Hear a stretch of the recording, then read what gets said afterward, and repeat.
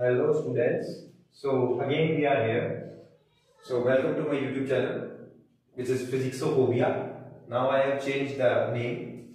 So uh, तो आज हमारे पास कुछ क्वेश्चंस हैं ऑप्शन टाइप आज से हम ऑप्शन टाइप क्वेश्चंस को डिस्कस करेंगे क्योंकि एग्ज़ाम बहुत पास में है उसके बिहाफ पे हमने सोचा है कि ऑप्शन टाइप क्वेश्चंस थोड़े ज़रूरी हैं इसीलिए करते हैं ऑप्शन टाइप क्वेश्चन तो भाई फ़र्स्ट क्वेश्चन है तुम्हारा, और ये तुम्हारी कंप्लीट सीरीज़ रहेगी जिसमें इलेक्ट्रोस्टैटिक्स के बहुत सारे क्वेश्चंस बनेंगे तुम ओके और ऐसे ही इस चैप्टर के अलावा एक और सीरीज़ तुम्हारी बना दी जाएगी, हर चैप्टर की। उसका तुम सारे इसकी सीरीज़ देख लेना, सारे जो भी तुम्हारी चैप्टर्स की बने। ठीक है भाई? उससे तुम्हें काफ़ी अच्छे से आगे के एग्ज़ाम के लिए हेल्पफुल रहेगी। तो स्टार्ट करते हैं। फ़र्स्ट क्वेश्चन है इफ़ अ प्लास्टिक रॉड एक प्लास्टिक रॉड है, और उसको रब किया जा रहा है विद फर उसको हम क्या कर रहे हैं? रब कर रहे हैं फर के साथ। फर क्या होता है? तुम्हारा जो कैट के जो ऊपर वाला बाल होते हैं ना तो उसको हम बोलते हैं fur. Okay? Is made to touch to small pick balls. तो उसको क्या किया? पहले तो उससे रब कर लिया। उसके बाद जो वो प्लास्टिक की रोड है, उसको पिच बॉल से कनेक्ट कर दिया। अब कनेक्ट हो गई तो उसके बाद क्या होगा? वो चार्ज क्या है? वो डिस्ट्रीब्यूट हो जाएगा पूरी की पूरी बॉल्स में भी और उस प्लास्टिक रोड में भी। ठीक है भाई? तो पिच बॉल्स के साथ कनेक्ट कर दिया। अब एक बार, एक चीज़ और सोचना, दोनों में जो जो चार्ज क्रिएट हुआ है, दोनों प्लास्टिक रोड्स में, वो सेम रहेगा। ठीक है भाई? और उनको क्या किया? सस्पेंड कर दिया मतलब लटका दिया। Suspended near by then which figure shows there final configuration तो इनमें से कौन सी जो कन्फ्यूगेशन है, वो फाइनल रहेगी। ये पूछा गया इसमें। देखोगे ये वाली तो बिल्कुल नहीं होगी, क्योंकि जब हम किसी भी चीज़ को रब करते हैं तो रब से क्या होता है? इलेक्ट्रिफिकेशन हो जाती है उसमें। उसमें इलेक्ट्रॉन जनरेट हो जाते हैं। ठीक है भाई तो वो कुछ ना कुछ तो इफ़ेक्ट दिखाते हैं तो अट्रैक्ट होगा रिपेल होगा। तो ये वाला तो बिल्कुल नहीं होना। ठीक है और इस वाले को थोड़ा छोड़ते हैं, क्योंकि आंसर यही है। थर्ड वाले को देखते हैं। थर्ड वाला अट्रैक्ट क्यों क्यों नहीं होगा? अट्रैक्ट इसलिए नहीं होगा क्योंकि क्या है? दोनों के दोनों क्या है? सेम चार्ज है। और इलेक्ट्रिक चार्ज की प्रॉपर्टी यही है कि जो सेम चार्जेस होते हैं, वो क्या करते हैं? एक दूसरे क्वेश्चन में क्या हो रहा है? हमारा सेम चार्ज हो रहे हैं। इसी वजह से इसको हम नेगलेक्ट कर सकते हैं, क्योंकि अब देखो भाई, हम जैसे प्लास्टिक रॉड को रख किया तो सेम चार्ज उसमें एक्सर्ट होंगे मतलब उसमें बनेंगे। और वो जो सेम चार्जेस है, वो कभी भी अट्रैक्ट नहीं होते, इसलिए ये वाला भी गलत हो जाता है। और भाई, इतना भी रिपेयर नहीं करेंगे कि एक तो भाई यहाँ पे और एक इतना दूर। इतनी दूर नहीं हो सकता। ठीक है भाई? इसलिए ये वाला भी गलत है। तो रिपेयर होगा वो इतनी दूर हो सकता है। एक फाइनाइट डिस्टेंस पे होगा। ठीक है भाई तो इसीलिए इसका आंसर क्या है? बी है। और नेक्स्ट क्वेश्चन है तुम्हारा। ये समझ आ गया सबको? चलो आगे चलते yes sir A comb runs through one dry hairs attract small bits of paper. This happens because देखो भाई कॉम का तुम्हें भी पता है प्लास्टिक का होता है और कैसा होता है भाई? इंसुलेटर होता है। गुड कंडक्टर नहीं होता। ठीक है तो फ़र्स्ट वाला तो ऑटोमेटिकली गलत हो गया क्योंकि भाई वो कॉम क्या है? गुड कंडक्टर नहीं है। पेपर की बात की जाए वो पेपर भी तुम्हारा ऐसे ही गुड कंडक्टर नहीं है। लेकिन थर्ड पॉइंट की बात की जाए, जो एटम है in the paper get polarise by the charge form polarisation एक मिनट थर्ड ऑप्शन है, उसमें क्या है तुम्हारा? The atom in the paper get polarise by the charge forms जो चार्ज फॉर्म है, उससे वो क्या हो जाते हैं? पोलराइज हो जाते हैं। मतलब उनमें भी क्या होता है? एक अपोजिट चार्ज प्रोड्यूस होता है, उस वजह से वो क्या होते हैं अट्रैक्ट हो जाते हैं। ठीक है भाई? और ये वाला तुम्हारा ठीक है वैसे आंसर और डी वाला ऑप्शन देखो भाई the comb process magnetic field अब कॉम कोई मैग्नेटिक फ़ील्ड कहाँ से प्रोड्यूस करेगा? जब उसके पास ये नहीं है मतलब ही नहीं है तो मैग्नेटिक मतलब जब इलेक्ट्रॉन ही नहीं होगा तो मैग्नेटिक जब चार्ज ही नहीं होगा किसी चीज़ में मतलब मैग्नेटिक फ़ील्ड कब प्रोड्यूस होता है, जब कोई चार्ज हमारा मोशन में हो। और कॉम वाला कॉम में जो चार्जेस है, वो क्या मोशन में है? मोशन में नहीं है, इसी वजह से ये वाला ऑप्शन भी तुम्हारा क्या होता है? गलत होता है। हाँ भाई, देखिए तो अब आ जाते हैं हम क्वेश्चन नंबर थ्री पर। तो क्वेश्चन नंबर थ्री क्या हो, कहता है one metallic sphere A is given positive charge whereas another identical metal sphere B of exactly same mass as of A is given equal amount of negative charge then तो भाई, इसमें क्या दे रखा है? ए और बी का इक्वल अमाउंट ऑफ़ मासेस दे रखे हैं, लेकिन चार्जेस क्या है? डिफरेंट दे रखे हैं। जैसे ए स्फीयर पे तुम्हारा पॉजिटिव चार्ज दे रखा है, लेकिन बी स्फीयर पे क्या दे रखा है? नेगेटिव चार्ज दे रखा है। ठीक है भाई तो इसमें पूछा है कि मासेस का क्या क्या वो निकलेगा? मतलब इक्वल रहेंगे या फिर कौन सा इंक्रीज होगा, कौन सा डिक्रीज होगा? इसके बारे में पूछा गया देखो अब जैसे किसी में इलेक्ट्रॉन्स ज़्यादा है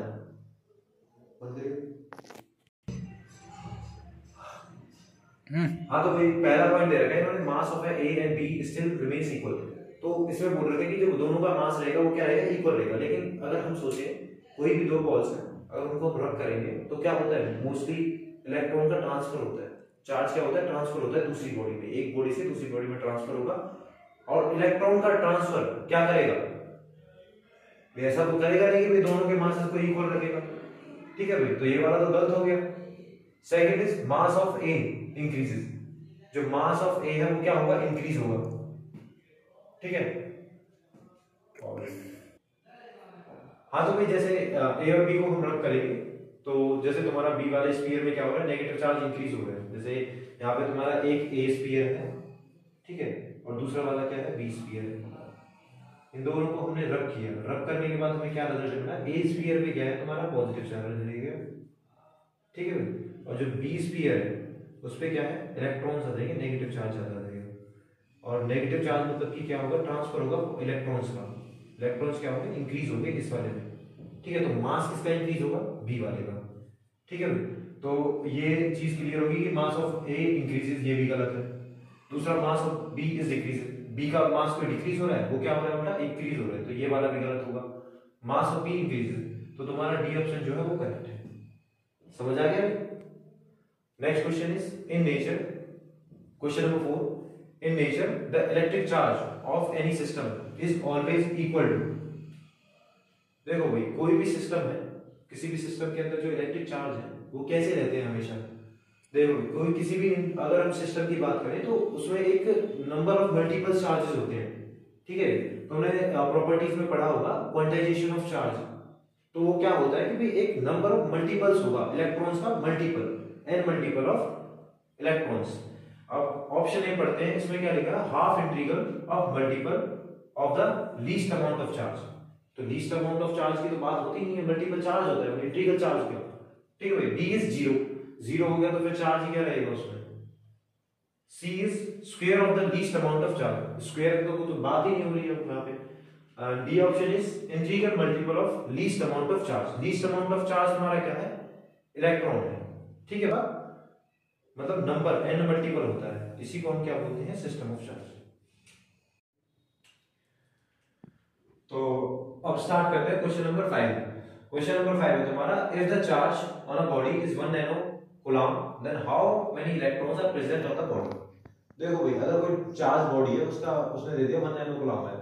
1 नैनो कूलम है जो तुम्हारा, वो इक्वल होता है तुम्हारा 1 into 10 की पावर माइनस 9 कूलम के ठीक है भाई?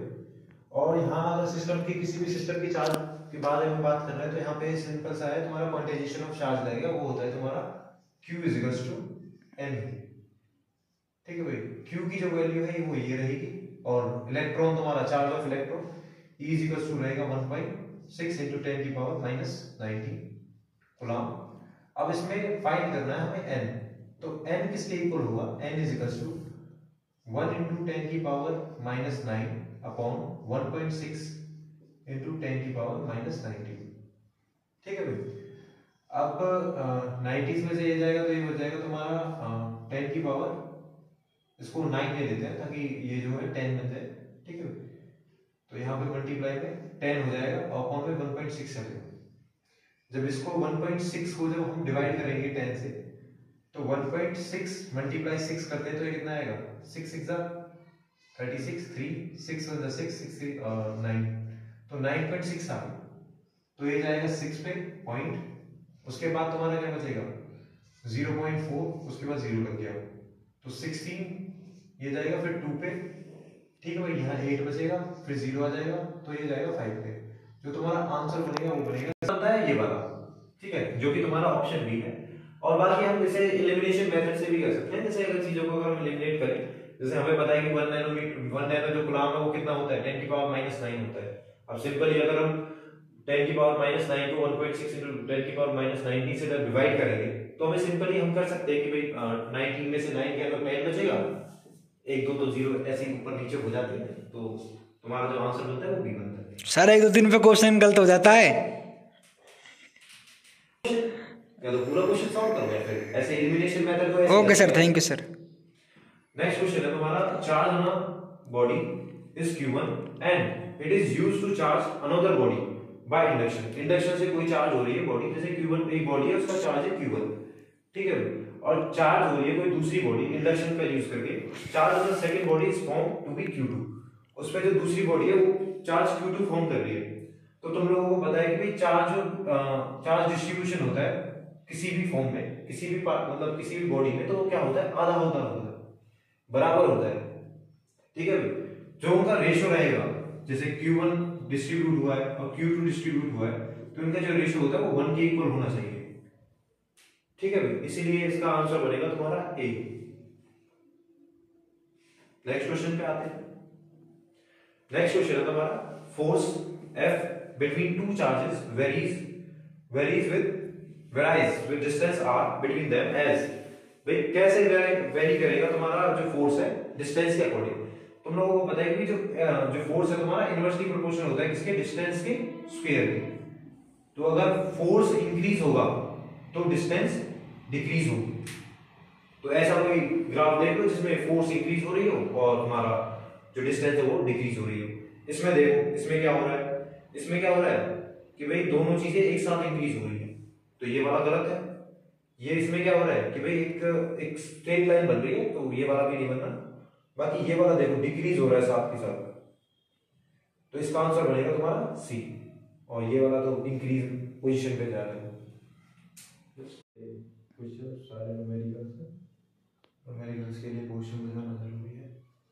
हाँ। तो भाई question number eight is the unit of electric permittivity unit बतानी है इलेक्ट्रिक परमिटिविटी का। देखो भाई, तुम्हें फॉर्मूला पता है, F इक्वल्स टू क्या होता है? 1 अपॉन 4 पाई एप्सिलॉन नॉट और Q1 Q2 upon r square तो यहाँ से इसकी यूनिट बतानी है। फोर्स की तुम्हें पता है क्या होता है? न्यूटन ठीक है? इसको ऐसे ही रहने दो। 1 अपॉन 4 पाई एप्सिलॉन नॉट और Q1 कूलम कूलम स्क्वायर हो गया यहाँ, और यहाँ पे r स्क्वायर है मतलब मीटर का स्क्वायर तो यहाँ से आगे बात करेंगे। जो तुम्हारा एप्सिलॉन नॉट होगा, वो किसके इक्वल होगा? कूलम्ब स्क्वायर अपॉन में 4 पाई न्यूटन मीटर स्क्वायर अब 4 पाई क्या है? तुम्हारा कांस्टेंट है। कोई कांस्टेंट है? कांस्टेंट की कोई मतलब यूनिट होती नहीं है। तो इसीलिए हम क्या बोलेंगे? एप्सिलॉन नॉट किसके इक्वल होगा? कूलम्ब स्क्वायर पर न्यूटन मीटर स्क्वायर तो ये होगी तुम्हारी यूनिट ऑफ़ इलेक्ट्रिक परमिटिविटी और इसका ऑप्शन तुम्हारा ठीक बनेगा। Option number वन और option A is the correct answer and next is question number nine the force of interaction between the two charges is q1 q1 and q2 दो charges दे रखे हैं q1 q2 is 12 newton q minus q microcoulomb is added to each of the charges then the new force of the interaction is देखो हमें एक force दे रखा है, यहाँ पे क्या दे रखा है? फोर्स दे रखा है, जिसमें क्या करना है, हमें चार्जेस ऐड करने हैं। पहले क्या है, एक फोर्स दे रखा है, जिसका जो चार्जेस है वो क्या है? टू माइक्रोकूलम और सिक्स माइक्रोकूलम ठीक है? उसके बाद क्या करना है, हमें इसमें चार्जेस ऐड करने हैं। जो न्यू चार्जेस होंगे, उसको हम मान लेते हैं क्यू वन नॉट से। तो जो क्यू वन नॉट होगा, वो किसके इक्वल होगा? सिक्स माइनस टू माइक्रोकूलम की। ये कितना हो जाएगा? फोर माइक्रोकूलम ऐसे ही मैं टू नॉट की बात करूँ, वो किसके इक्वल होगा? टू माइनस टू ये किसके इक्वल हो गया? ज़ीरो माइक्रोकूलम ठीक है अब हम फोर्स का फॉर्मूला लगाते हैं। F इज़ इक्वल टू किसके होता है? F is equal to Q1 Q2 upon R square और ये हो गया तुम्हारा के K इक्वल होता है तुम्हारा 1 अपॉन 4 पाई एप्सिलॉन नॉट की, जिसकी वैल्यू क्या होती है? नाइन इंटू टेन की पावर 9 ठीक है भाई। ये स्क्वायर होता है आर स्क्वायर तो यहाँ पे इसमें हम चार्जेस की वैल्यू पुट करेंगे। तो एफ़ इजिकल्स टू किसके आ जाएगा? Q1 की वैल्यू कितनी दे रखी है? 4 माइक्रोकूलम तो 4 into 10 की पावर माइनस सिक्स जो 1 माइक्रोकूलम है वो तुम्हारा इक्वल होता है 10 की पावर माइनस सिक्स कूलम के। ये चीज़ भी याद रखना। ठीक है भाई मल्टीप्लाई ये ज़ीरो माइक्रोकूलम अगर ज़ीरो की मल्टीप्लाई किसी भी चीज़ से होती है वो क्या हो जाता है? ज़ीरो हो जाता है। इसी वजह से जो ये फोर्स जो बनेगा इसका टोटल वो कितना बनेगा? F is equal to zero तो यहाँ से जो ऑप्शन हमारा ठीक बनेगा, वो क्या बनेगा? Option number two which is B zero अब ये है तुम्हारा last question which is a charge Q is placed at the centre of the line joining two equal charges q and Q देखो, ये कोई चार्ज है मतलब यहाँ पे कोई पॉइंट है, a, यहाँ पे मान लिया हमने पॉइंट b. ये एक लाइन इन्हें क्या कर रही है? ज्वाइन कर रही यहाँ पे एक पॉइंट मान लिया हमने o जो a पॉइंट है, उस पर क्या चार्ज है? कैपिटल Q जो b पॉइंट है, उस पर क्या चार्ज है? कैपिटल Q तो हमने एक छोटा पॉइंट चार्ज माना हुआ है कि भाई यहाँ पे कोई पॉइंट चार्ज है, जो क्या कर रहा है? इन दोनों को इक्वली क्या कर रहा है? पूरे सिस्टम को। ये चीज़ देखना, पूरे सिस्टम को क्या कर रहा है? इक्विलिब्रियम में कन्वर्ट कर रहा है। इक्विलिब्रियम में रख रहा है। इक्विलिब्रियम में रख रहा है तो इसका मतलब क्या होगा? जो टोटल फोर्स एक्सर्ट होगा इन दोनों चार्जेस से, इस Q से और Q से, वो इक्वल रहेगा तुम्हारे किसी भी इन दो फोर्सेस के ठीक है भाई? तो यहाँ से तुम्हारा जो फॉर्मूला बनेगा, F इज़ इक्वल्स टू मतलब F इज़ इक्वल्स टू तुम्हारा बनता है Q1 जो कैपिटल Q है। Capital Q multiply capital Q upon इस डिस्टेंस को देख लेना, जैसे ये वाली डिस्टेंस को हम मान लेते हैं, जैसे कि ये वाली डिस्टेंस मान लिया हमने 2x तो ये वाली डिस्टेंस क्या होगी तुम्हारी x? और ये वाली भी सेम x के इक्वल होगी। तो फॉर्मूला अप्लाई करते हैं। यहाँ पे k मान लेते हैं उस कांस्टेंट को, जो तुम्हारा k equals to 1 upon 4 by epsilon naught है, उसको हमने क्या मान लिया? सिर्फ़ k मान लेते हैं कि आगे इसी से सॉल्व हो जाएगा। बाकी इन दोनों के बीच की जो डिस्टेंस है वो कितनी है? 2x इसका स्क्वायर और ये इक्वल किसके रहेगा? जो q और कैपिटल Q चार्ज के बीच का फोर्स है वो क्या होगा? कैपिटल के, यहाँ पे small Q capital Q upon R square. Distance कितनी है दोनों के बीच की? वो x है तो x का स्क्वायर। अब जो चीज़ें यहाँ से कैंसिल हो सकती है, उसको हम कैंसिल कर देंगे। जैसे के है के कैंसिल हो गया। कैपिटल Q है, कैपिटल Q कैंसिल हो गया। इसको जैसे हम ओपन करेंगे तो क्या बनेगा? Capital Q upon four X square is equal to small q X square X square से एक्स स्क्र कैंसिल तो जो स्मॉल क्यू है, वो किसके इक्वल आ गया? कैपिटल क्यू अपॉन फोर के। यहाँ तुम्हारा जो ऑप्शन सही बनता है, वो क्या है? Option number C okay and thank you for watching this video.